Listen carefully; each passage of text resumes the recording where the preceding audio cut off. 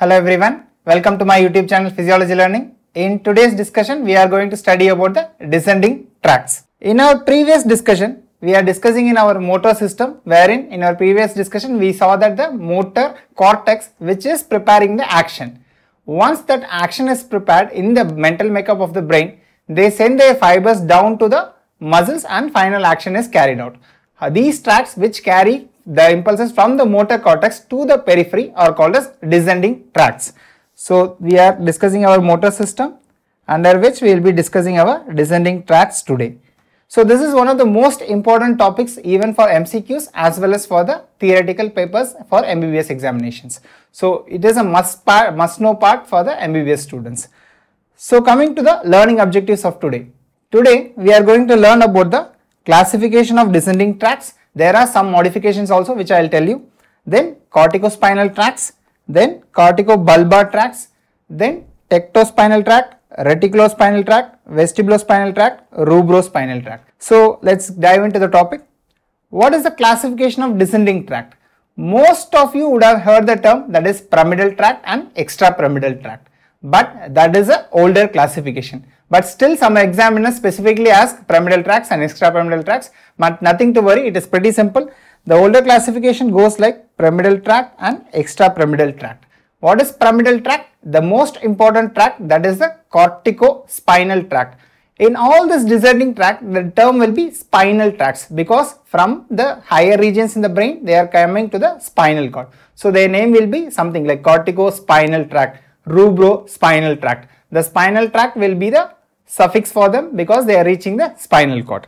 So, the pyramidal tract here only one tract is considered as pyramidal tract. That tract is corticospinal tract. Rest all other tracts, whatever tracts we are going to study, they are called as extra extrapyramidal tracts. So, if the question is asked between pyramidal and extra extrapyramidal, just remember that corticospinal is the only pyramidal tract and rest all of them are called as extra extrapyramidal tract. But there is a special newer classification which goes like medial pathways and lateral pathways. Depending upon the functionality of the tracts, nowadays they are calling the tracts as medial pathway of tracts, then lateral pathway of tracts. They are anatomically also distributed medially one group of tracts and another group is distributed laterally and their functions are also exactly opposite of each other. So that's why they have been separated as medial groups and lateral groups. Let's try to understand if there is a group of tract which is coming medially, what they will do is they will help in positioning the medial region of the body. So what are the medial structures? The medial structures are the axial part of the body as well as the proximal portions of the limbs. All of them are in the midline of the body. So these medial pathways, they are innervating the axial body as well as the proximal limb. What is the most important function of the axial body and the proximal limb? They are for positioning. In our motor cortex itself, we saw this middle portion is for positioning, whereas the distal portions is, is helpful for the fine movements and fine actions in the body. So this helps in, this medial pathway helps in posture and gross movements, whereas the lateral portion which goes in the lateral side of the medial tracts, they go in the lateral side and they will give their fibers to the distal portions of the limb. So these group of tracts are called as lateral pathway of tracts. They are giving to the distal portions of the limb. What is their action? Their action is fine movements. So this is the present classification that you have to remember. I strongly suggest all of you to write the newer classification also. That is the medial pathway of tracts and lateral pathway of tracts. Now let's try to name the tracts which are present in the medial pathways and lateral pathways. So coming to the medial pathways first. The, in the medial pathways, we have the corticospinal tract. In the corticospinal tract, whenever we study about corticospinal tract, there is two groups of it. One is the ventral group, another one is the lateral group. So this ventral is nothing but our medial corticospinal tract. So this medial corticospinal tract and three more tracts are included in the group of medial pathways. So what is the function of medial pathways? They control the posture as well as the proximal limb gross actions. So what are the other tracks? The other tracks are grouped as medial descending pathways of the brainstem because these other tracks originate from the brainstem region. It can be any part like the midbrain, pons, medulla, it can be from any of them, but they originate from the brainstem region. That's why the other three are grouped together in the medial descending pathway of the brainstem. In that we have actually four tracks, that is the first one is tectospinal, Second one is reticulospinal. Third one is vestibulospinal. And what is the fourth one? This reticulospinal tract, it arises from two places. One from the pons, another one from the medulla. And both of them are different in functions also. So, ideally we have four tracks in the medial descending pathways of the brainstem. That is the tectospinal, pontine reticulospinal, then medullary reticulospinal, then finally the vestibulospinal pathways. So all these five tracks together are called as the medial system of pathways or medial descending pathways. Now coming to the lateral tracks. The lateral tracks are very simple to remember. There are only two tracks. One track we already saw that is which portion of the corticospinal tract? The lateral portion of the corticospinal tract is a form of lateral pathway and another tract which is called as the lateral descending pathway of the brainstem and there is only one lateral descending pathway of the brainstem that is the rubrospinal tract. Now let's try to understand the individual functions of all the tract. Now coming to discussion of the most important topic that is the corticospinal tract. Along with corticospinal tract there is one more group which is called as corticobulbar tracts. What is this corticobulbar tract? That is very simple. We will finish them first. So corticobulbar tracts, these are some tracts which originate from the motor cortex because it is written corticobulbar. Bulbar means it gives their motor neurons to the cranial nerves. So whenever it gives its motor neurons to the cranial nerves, it is called as bulbar tracts. So what are the cranial nerves? It gives its fibers, the cranial nerve, trigeminal, then facial, then hypoglossal. So these tracts which give their fibers to these cranial nerves are called as corticobulbar tract. So basically they are going to innervate the facial regions and the upper portion of the neck region. So these are the tracts which are called as corticobulbar tracts.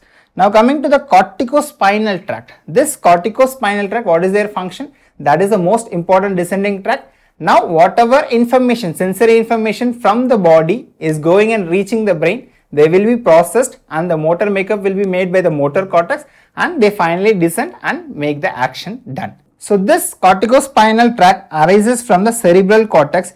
In the cerebral cortex, we have various layers which we will read it in later lectures and it arises from the layer 5. This is also very very important. This layer 5 of cerebral cortex, this corticospinal tract originates and it originates from various different places all of us think that it just comes from the motor area. It's not like that. It has its origin from various areas. From the M1, it gets around 31 percentage of its fibers. What is M1? M1 is nothing but a primary motor area. From a primary motor area, 31 percentage comes in. Then coming to the premotor cortex, here 29 percentage of fibers come in.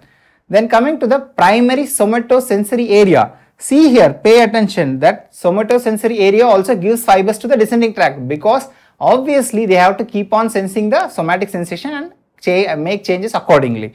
Then parietal lobe, they contribute about 40 percentage of the descending fibers in corticospinal tract. So coming to the diagram, here the cerebral cortex from the layer 5, the corticospinal tract starts and this tract was previously called as pyramidal tract why it was called pyramidal tract? Because this layer 5 had pyramidal cells. And not only that, they were forming the pyramids in the medulla, which we will discuss.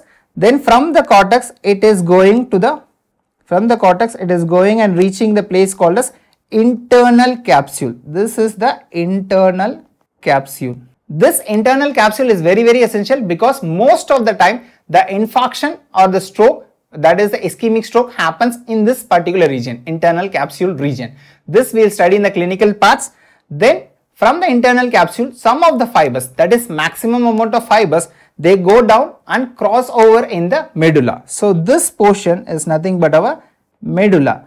Whenever they are going to the medulla, what they form is they form some kind of uh, image which looks like a pyramid. It will look like these fibers are looking like this so that's why this tract is also called as pyramidal tract. What are extra extrapyramidal tracts? Extrapyramidal tracts, every other tract is called as extrapyramidal tract.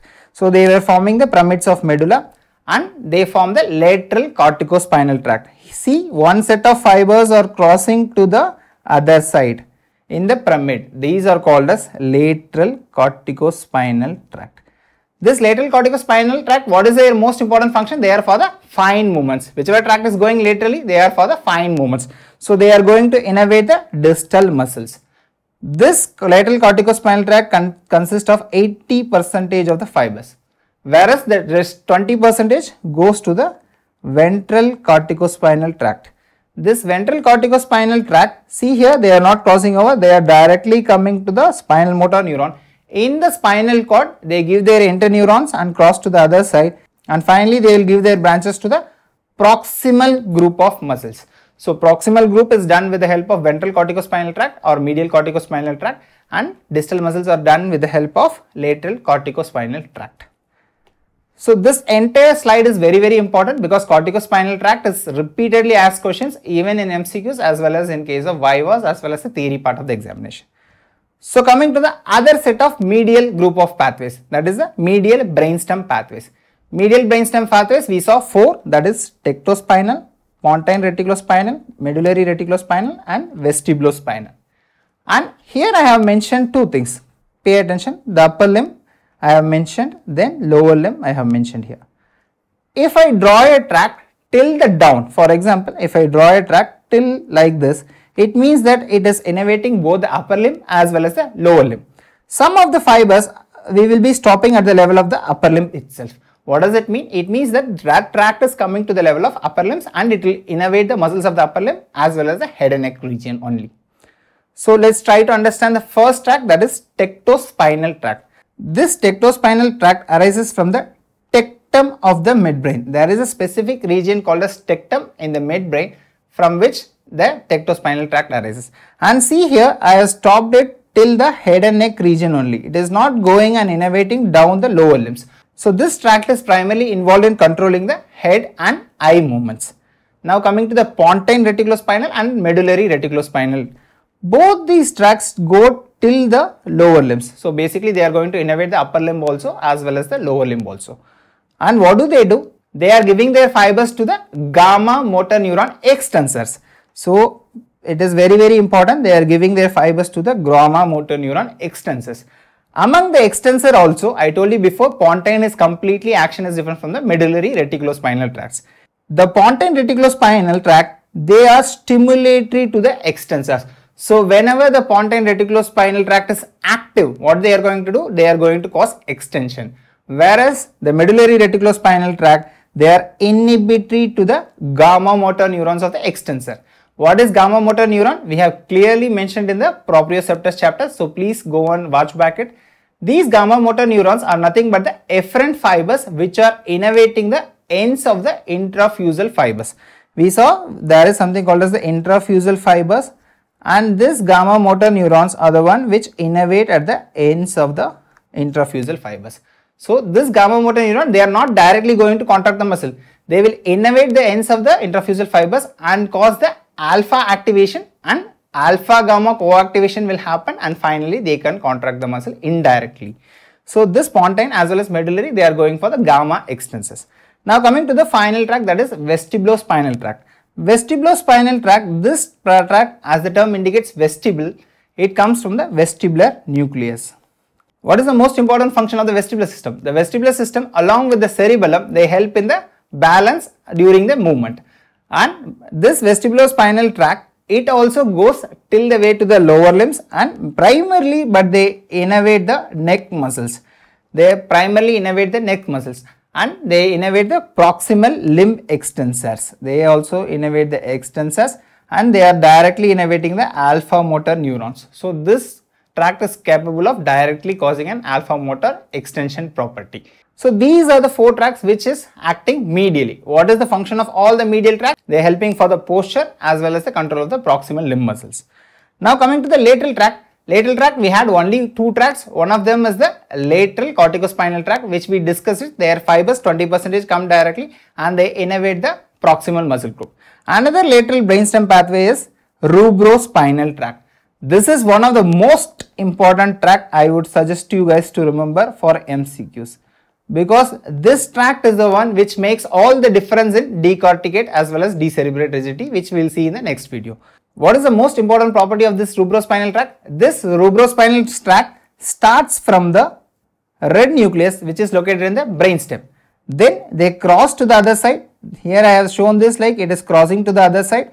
In our previous example also tectospinal tract, I would have drawn it like it is crossing the other side. So whenever I draw like this, it means that it is crossing to the other side and innervating the muscles of the contralateral side. This rubrospinal tract innervates the flexor motor neurons. Pay careful attention here. It is innervating the flexor group of neurons. This is very very important. Please remember this. It is innervating the flexor motor neurons that is alpha flexors of the upper limb we have come here till the upper limb only, it is not going to innervate to the lower limb. They are primarily innervating the upper limb flexors. So, rubrospinal tract always they primarily innervate the upper limb flexors. This is very important to remember. We have seen multiple tracks but we will try to summarize all of them in one place. So, coming to the first primary division, we saw that we have the lateral group and we have the medial group. So, what is the function of lateral group? Lateral group is for fine movements. What is the function of medial group? Medial group is for gross movements lateral group we have two important tracks. and before going to the tracks, see here I have drawn here that is the cortex starts from here then the brainstem that is the midbrain pons and medulla then cervical. I, here I have mentioned cervical. If it is coming to the cervical what does it mean? It will give its fibers only to the upper limb portion. Then I have written lumbosacral. Suppose if some fibers are coming till the lumbosacral region they are going to give fibers for the upper limb as well as the lower limb. That is what this diagram all means. Now coming to the lateral tracts, lateral tracts we have the most important tract that is the rubrospinal tract which starts from the red nucleus and goes till the cervical region. It goes till the cervical region. So it is innervating the alpha flexors of the upper limb. Then another tract which is a lateral tract that is the corticospinal tract. It doesn't cross in the medulla, it crosses down below so it is crossing in the spinal cord level. So it is crossing in the spinal cord level. So this innervates the distal muscle group. They innervate the distal muscle group. Both the corticospinal tract innervate the alpha motor flexors. Then coming to the medial group of tracts, we have basically the five different tracts. One is the corticospinal tract. This corticospinal tract, see I have shown it here, it crosses to the other side. See this red nucleus is also crossing to the other side and tectum also will cross the other side, innervate the contralateral region. So this ventral corticospinal tract, where does it go and innervate? They innervate the proximal muscle group. Then what is this next tract? This next tract is tectospinal tract. It, uh, it arises from the tectum. This is the tectospinal tract and they innervate only the head and eye movements. They innervate primarily the head and eye movements. They control primarily the head and eye movements. Now coming to the pons and medulla, in the pons and medulla we saw a common tract that is pontine reticulospinal tract and medullary reticulospinal tract. Out of which, which is inhibitory? Only the medullary reticulospinal tract is inhibitory. We can see here the medullary reticulospinal tract is inhibitory. Now coming to the last tract that is vestibular nuclei. There is one tract arising from the vestibular nuclei which is called as vestibulospinal tract. What is the main function of vestibulospinal tract? Vestibulospinal tract is also similar to that of the tectospinal tract. They control the head and neck movements. They innervate the alpha extensors whereas pontine and medullary fibers innervate the gamma extensors and rubrospinal tract is innervating the alpha flexors. This diagram is very very important for understanding the decorticate and decerebrate rigidity. Once we understand this diagram, then decorticate and decerebrate rigidity is very simple and easy to understand. I hope it's clear. Thank you for listening. We'll see in the next video. Thank you so much. If you like my content, share it to your friends and subscribe to the channel.